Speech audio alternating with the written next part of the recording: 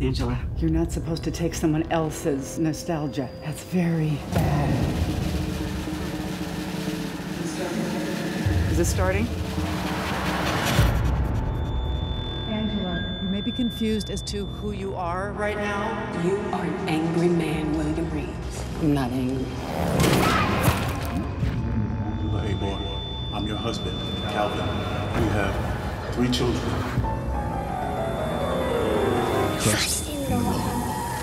don't know what's really happening here. You need to come home. You need to wake up.